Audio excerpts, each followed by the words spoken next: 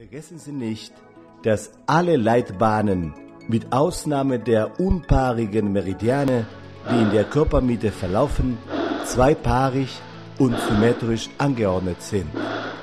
Wir bekreuzigen uns und berühren den Punkt Lunge 1. Wir verweilen kurz am Punkt Lunge 7. Von dort aus geht es weiter zum Endpunkt Lunge 11. Der nächste Meridian, der den Energiefluss übernimmt, ist der Dickdarmmeridian, ein Yang-Meridian, welcher zusammen mit dem Lungenmeridian das Element Metall symbolisiert. Dieser beginnt im radialen Nagelfalz des Zeigefingers. Er verläuft nach innen über den Ellenbogen entlang, tangiert Schulter und den Hals und endet unterhalb des Nasenflügels.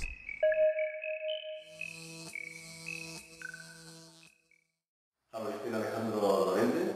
Ich äh, bin TCM-Lehrer und äh, möchte euch ein paar Tricks zeigen, um diesen schwierigen Lungenmeridian äh, zu verstehen. Wir haben hier auch Ulf Papa, der das äh, anhand von gewissen Techniken, die er auch selber entwickelt hat, zeigen wird. Und ich werde zuerst äh, sagen, wie finden wir den ersten Punkt des Lungenmeridians. Äh, der Lungenmeridian gehört zum Metallelement und um den Punkt äh, Lunge 1 äh, zu gelangen, müssen wir bei der Kirche so machen und dann kommen wir direkt zum Lungen 1. Da haben wir hier den Punkt. Das ist ein bisschen äh, schwierig mit der Klemme, aber wir das so hinkriegen. Also der Lungenmeridian läuft auf dieser Ebene. Wir haben hier diese Punkte des Meridians, das sind so die, die, ja, die, die verschiedenen Städte von, diesen, von dieser Autobahn.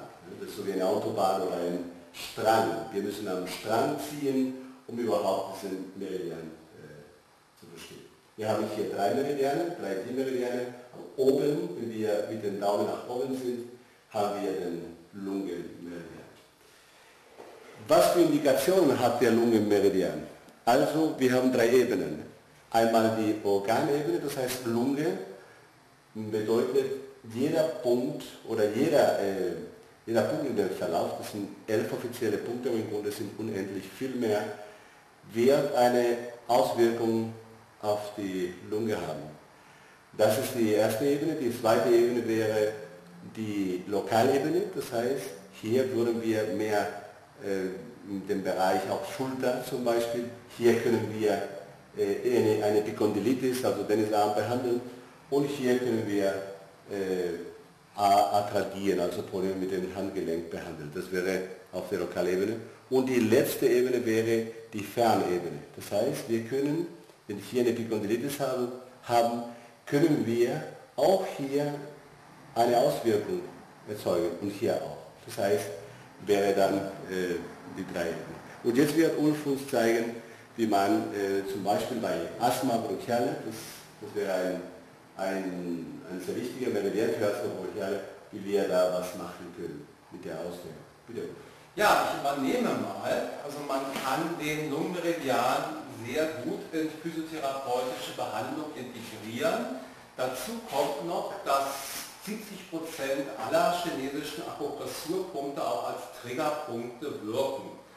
Zum Beispiel kann ich über eine pektorale Dehnung hier diesen Lungenmeridian sehr gut dehnen. Ich habe meinen Patienten hier gut stabilisiert, könnte zum Beispiel mit einem Finger auf den Punkt Lunge 1 gehen, der auch ein pektoraler Triggerpunkt ist, und mit dem anderen Finger zum Beispiel Lunge 7 behandeln, hier eine energetische Verbindung herstellen und kann jetzt wirklich im Grunde genommen in verschiedenen Ebenen pektoral dehnen und den Meridianverlauf wie die Seite eines Musikinstruments traktieren und hier eine Wirkung erzielen, erzielen und ähm, ich kann ja auch in die Nervendehnung übergehen, kann also sehr kreativ, sehr virtuos mit diesem Meridianverlauf arbeiten und habe hier einen sehr guten Übergang zu weiteren effizienten Behandlungstechniken. Das ist jetzt eine kleine Demonstration in der Sitzposition. Sehr gut kann man den Lungenmeridian auch behandeln in der Seitenlage. Ähm, ja, leg dich mal auf den Rücken bitte.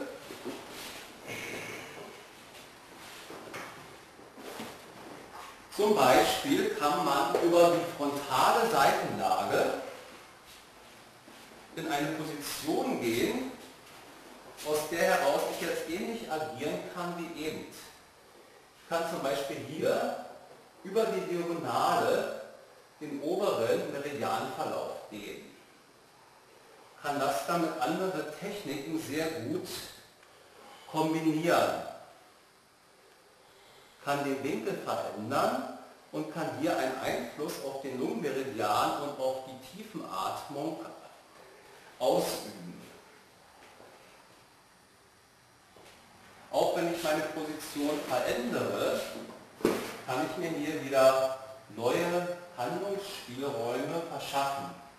Zum Beispiel hier über sogenannte Sandwich-Techniken. Mit der Ausatmung Druck auf den Meridian geben und gleichsam hier am oberen Rücken agieren. Viele Möglichkeiten gibt es in diversen Positionen. Jetzt bitte ich den Jakob mal, sich auf den Bauch zu legen. Auch hier in einer sehr konventionellen Massagesituation kann ich den Lungenmeridian behandeln, indem ich hier wiederum über die pektorale Dehnungsebene gehe, kann ich verschiedene Positionierungen entwickeln, aus denen heraus sich der Lungenmeridian behandeln lässt. Ich gehe zum Beispiel auf Lunge 1 und arbeite wiederum mit einer Centris-Technik, gleichzeitig hier pektoral am Lungenmeridian und am Rücken und arbeite mit der Atmung, mit dem Atmungsrhythmus meines Patienten. Viele Möglichkeiten der Dehnung können sich im Behandlungsfluss entwickeln. Ja, soweit zur kleinen Demonstration zur Integration des Lungenmeridians. Fast alle Meridiane, alle zwölf Hauptmeridiane der chinesischen Medizin kann man in physiotherapeutische Behandlung integrieren und eben auch Kombination aus Dehnung, aus Traktion, Akupressur und Triggerpunktbehandlung kreieren. Ja, ich bedanke mich und Alejandro auch für Ihre Aufmerksamkeit. Und ja, wir freuen uns, vielleicht sieht man sich mal wieder. Kontakt bei uns, zu uns finden Sie über unsere Homepage im Fließtext und wir wünschen viel Spaß beim Anwenden.